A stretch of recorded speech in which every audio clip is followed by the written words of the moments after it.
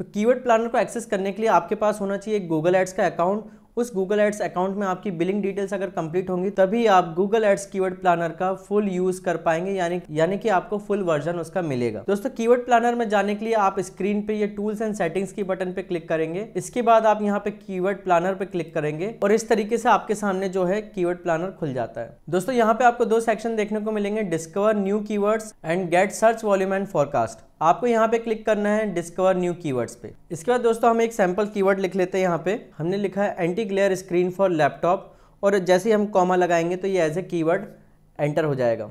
Comma लगा के आपको स्पेस लगाना है। अगर आप और भी कीवर्ड्स का रिसर्च करना चाहते हैं या और भी आइडियाज़ लेना चाहते हैं तो आपके मन में जो भी और भी कीवर्ड्स हैं सिमिलर वो आप यहाँ पे लिखते जाएँगे कॉमा लगा के स्पेस देते जाएँगे, आपके कीवर्ड्स जो है ऐड होते जाएँगे। आपके पास यहाँ पे एक और ऑप्शन आता है enter a site to filter unrelated keywords मतलब अगर आपको अपनी साइट के हिसाब से ही, आपकी वेबसाइट के हिसाब से ही कीवर्ड्स देखने हैं तो गूगल जो है आपकी वेबसाइट को चेक करके जो जो कीवर्ड्स आपके लिए एप्लीकेबल नहीं है, उनको वहाँ पे से वो पहले ही हटा देगा।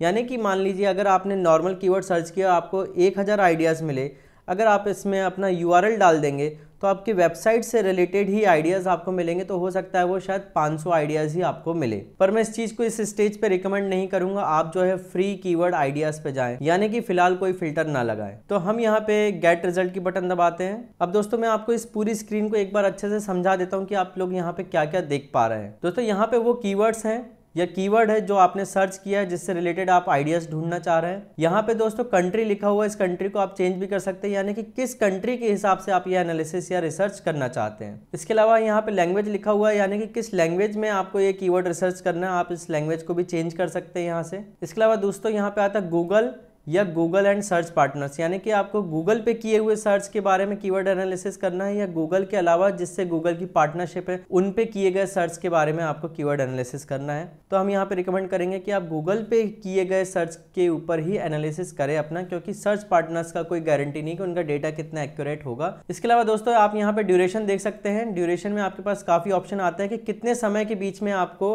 किए गए सर्च के ऊपर एनालिसिस करना है या रिसर्च या आइडियाज़ लेना है।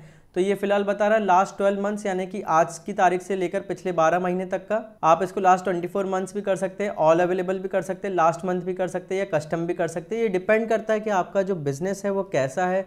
उसमें ईयरली फ्लैक्चुएशंस आते हैं या मंथली फ्लैक्चुएशंस आते हैं या क्वार्टरली या हाफ़ ईयरली फ्लैक्चुएशंस आते हैं। अगर ज़्यादा ही फ्रिक्वेंट फ्लैक्चुएशंस आते हैं तो आपको जो है शॉर्ट टर्म पीरियड में रिसर्च करना चाहिए।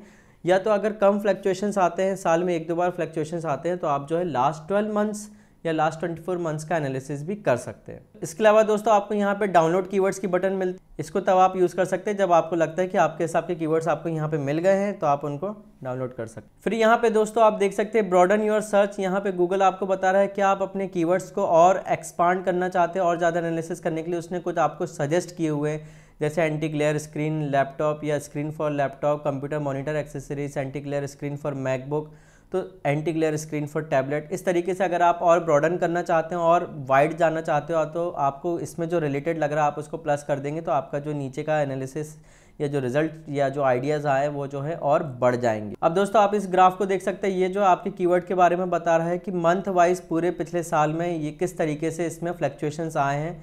तो ओवरऑल हम देख सकते हैं कि कोई खास ज़्यादा फ्लक्चुएशंस नहीं आए, एक एवरेज डिमांड जो है पूरा टाइम बनी हुई है। दोस्तों, इस ग्राफ को भी आप चेंज करके देख सकते हैं। यहाँ पे एक चार्ट की बटन आपको देखने को मिलेगी। इस चार्ट की बटन पे जब आप क्लिक करेंगे तो आपके पास यहाँ दो ऑप्शन और भी आते हैं। टोटल तीन ऑप्शन है। सर्च वॉल्यूम आपने देख लिया।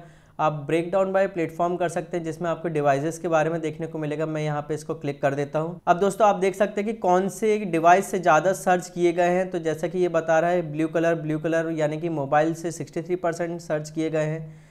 ठीक है?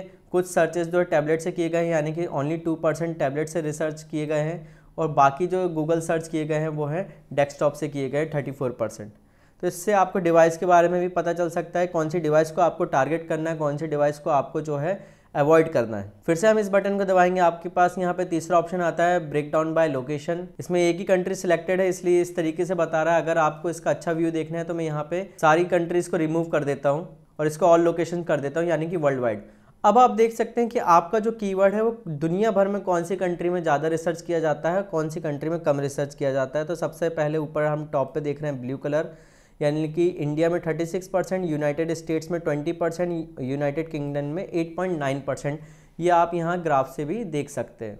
तो देखा दोस्तों, कितने सुंदर तरीके से आप जो है डिवाइस वाइज लोकेशन वाइज और मंथ वाइज अपने कीवर्ड की डिमांड को देख सकते इसके अलावा दोस्तों, हम यहाँ नीचे आते हैं। यहाँ पे आपने जो कीवर्ड सर्च किया था, उसकी सर्च वॉल्यूम और उससे रिलेटेड कीवर्ड्स जो है यहाँ साथ में लिखे हुए हैं और उससे रिलेटेड डेटा जो है आपको यहाँ सामने लिखा हुआ दिख रहा है। अब हम इसको थोड़ा ध्यान से समझ लेते हैं। सबसे पहले आपको यहाँ फ़िल्टर वाला ऑप्शन मिलता है। फ़िल्टर में आपको कई ऑप्शन मिलते हैं। अगर आप यहाँ पे क्लिक करेंगे तो सबसे पहला काम का ऑप्शन जो आता है वो है कीवर्ड यानी कि अगर आपको कोई पर्टिकुलर कीवर्ड ही चाहिए, जैसे कि कोई आपको ऐसे ही कीवर्ड चाहिए जिसमें what W H A T what का यूज़ हो तो मैं यहाँ पे करूँगा contents W H A T यहाँ वैल्यू में लिख देंगे W H A T what और जब आप सर्च करेंगे, इसको अप्लाई कर देंगे तो सिर्फ़ वही कीवर्ड्स आपको दिखेंगे जिसमें वॉट लिखा है। अगर आप जानना चाहते हैं कि सिर्फ़ आपको वही कीवर्ड्स चाहिए जिसमें प्राइजेस लिखा है, क्योंकि प्राइजेस वाले कीवर्ड्स यानी कि सामने वाला ढूंढ रहा है प्राइस और वो खरीदने वाला है। तो अगर हम यहाँ पे लिखेंगे कंटेंट्स प्राइजेस और मैं इसको अप्लाई करूँगा तो जितने भी कीवर्ड जिसमें प्राइस लिखा है या प्राइजेस लिखा है, वो आपको दिख जाएँगे। चलिए मैं आपको करके बताता हूँ। ये मैंने अप्लाई किया और ये बता रहा है कि कोई भी ऐसे कीवर्ड नहीं है जिसमें जिसमें लोगों ने प्राइस लिख के सर्च किया है, क्योंकि हमारे एग्ज़ाम्पल में ऐसा नहीं है, दूसरे एग्जाम्पल्स में आपको ऐसा देखने को मिल जाएगा। प्राइस के अलावा आपको मैं दूसरा एक एग्ज़ाम्पल बताता हूँ जैसे अगर मैं किसी ब्रांड का नाम लिखता हूँ, जैसे डेल एच पी लेनोवो या मैक तो मैं यहाँ पे लिखता हूँ डेल अब सिर्फ़ वही कीवर्ड्स बताएगा जिस कीवर्ड में डेल कंपनी के नाम का भी यूज़ किया गया हो। तो मैं इसको यहाँ अप्लाई करता हूँ। तो आप देख सकते हैं कि आप जितने भी कीवर्ड्स आ रहे हो, उस सब में डेल लिखा है। Dell anti glare screen Dell anti glare laptop Dell anti glare screen laptop Dell anti glare इस तरीके से आप किसी पर्टिकुलर शब्द को देखना चाहते हैं उस कीवर्ड में या किसी पर्टिकुलर शब्द को अवॉइड करना चाहते हो उस कीवर्ड से तो वो आप यहाँ फ़िल्टर का यूज़ करके बहुत आसानी से कर सकते हैं। अब मैं इस फ़िल्टर को यहाँ से हटा देता हूँ। अब आप देख सकते हैं दोस्तों, यहाँ पे जो कॉलम्स दिए गए उसको हम समझ लेते हैं। सबसे पहले आपका वो कीवर्ड आएगा जो आपने सर्च किया है, उसके बारे में बताया जाएगा कि उसका मंथली कितना सर्च होता है। ठीक है? पिछले तीन महीने में क्या क्या चेंजेस आए हैं? पिछले साल में कितने चेंजेस आए हैं? कम हुआ है, ज़्यादा हुआ है? जैसे कि यहाँ देख रहे हैं माइनस थर्टी फोर यानी कि चेंजेस थोड़े से सर्च वॉल्यूम जो है थर्टी फोर परसेंट कम हुई है। कॉम्पिटिशन काफ़ी हाई है, यानी कि काफ़ी लोग इस पर ऐड चलाते हैं। यहाँ टॉप पेज बिड और टॉप पेज बिड हाई और लो रेंज में आप देख सकते हैं कि सबसे टॉप पे ऐड दिखाने के लिए आपको ज़्यादा से ज़्यादा कितने रुपए देने पड़ सकते हैं और कम से कम कितने रुपए देने पड़ सकते हैं इस पर्टिकुलर कीवर्ड के लिए। तो जैसे कि हम देख सकते हैं एंटी ग्लेयर स्क्रीन लैपटॉप को अगर आपको सबसे टॉप पर दिखाना है तो ज़्यादा से ज़्यादा आपके छियालीस रुपये लग सकते हैं और कम से कम आपके डेढ़ रुपये लग सकते हैं।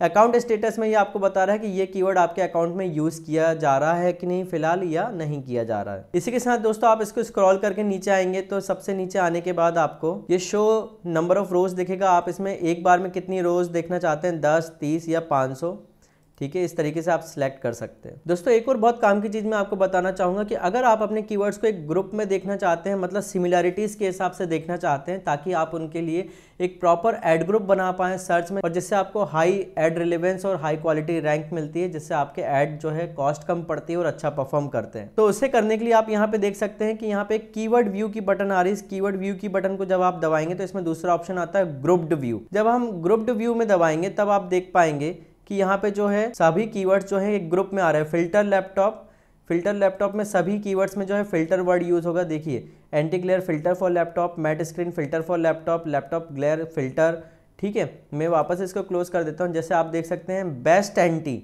यानी कि इसमें बेस्ट एंटी के हिसाब से इसको ग्रुप किया गया है तो अगर मैं इसको खोलता हूँ तो आप देख सकते हैं best anti clear protector for laptop best anti clear screen for laptop best anti clear laptop इस तरीके से आप दोस्तों इस फ़िल्टर का यूज़ कर सकते हैं, यानी कि इस व्यू का यूज़ कर सकते हैं एक प्रॉपर एड ग्रुप बनाने के लिए, ताकि आपके एड आपके एड ग्रुप और कीवर्ड्स में काफ़ी ज़्यादा रिलेवेंस रहे और आपको जो है अच्छी एड रैंक मिले, जिससे आपकी एड कॉस्ट कम भी आएगी और आपको अच्छा एक परफॉर्मेंस देखने को मिलेगा सर्च एड में। चलिए मैं इस ग्रुप्ड व्यू को नॉर्मल व्यू कर देता हूँ। अब दोस्तों, आप यहाँ देख सकते हैं, इस जगह रिफाइंड कीवर्ड्स की बटन है। रिफाइंड रिफाइंड कीवर्ड्स में जब आप एक्सपांड करेंगे तो ये आपको बहुत सारे और भी ऑप्शन देता है। अगर आप किसी category wise brand wise non brand wise किस अपने कीवर्ड्स को देखना चाहते हैं तो वो ऑप्शंस आपको यहाँ पे मिलते हैं। जैसे कि अगर मैं चाहता हूँ कि मेरे को केवल जो है एप्पल के एप्पल कंपनी से रिलेटेड ही कीवर्ड्स देखने तो मैंने जब यहाँ पे एप्पल पर टिक किया तो आप देख सकते हैं anti glare screen anti glare MacBook Pro anti reflective coating MacBook Pro MacBook Pro anti glare coating. इस तरीके से केवल एप्पल कंपनी से रिलेटेड जो कीवर्ड्स हैं वो आपको देखने को मिलेंगे। ये बहुत ही फ़ायदेमंद हो सकता है। अगर आपका प्रोडक्ट वाइज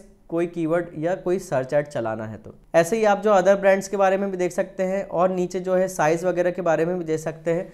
दोस्तों, ये कैटेगरीज जो है आपके कीवर्ड से रिलेटेड अगर एप्लीकेबल होंगी तो ही वो यहाँ पे विजिबल होंगी और अगर विजिबल होंगी तो आप उनका यूज़ कर सकते हैं। इसके अलावा ऊपर टिक करके आप जो है नॉन ब्रांडेड कीवर्ड्स को भी देख सकते हैं। फाइनली दोस्तों, ये जब सारा तामझाम हो जाए तो आप यहाँ ऊपर जाके डाउनलोड कीवर्ड आइडियाज़ की बटन दबाएँगे तो यहाँ पे आपको ऑप्शन मिलता है। CSV फ़ाइल या गूगल शीट फ़ाइल क्या? आप इस तरीके से अपने जो कीवर्ड्स हैं, वो हटा सकते हैं डाउनलोड कर सकते हैं और उनको वापस से एक्सेल शीट में फ़िल्टर करके ऑप्टिमाइज करके उनको गूगल एड्स में जाके यूज़ कर सकते हैं। इसके अलावा दोस्तों, इस वीडियो में आपको कोई डाउट है तो आप कमेंट सेक्शन में डाल सकते हो। तो अगर आपको गूगल एड्स या फेसबुक एड्स से रिलेटेड सर्विसेज़ की ज़रूरत है तो भी आप मुझे कॉन्टैक्ट कर सकते हैं स्क्रीन पर दिए गए नंबर आशा करता हूँ दोस्तों, आपको इस वीडियो में काफ़ी अच्छे से समझ में आया होगा कि गूगल कीवर्ड प्लानर को कितना डिटेल में यूज़ किया जा सकता है।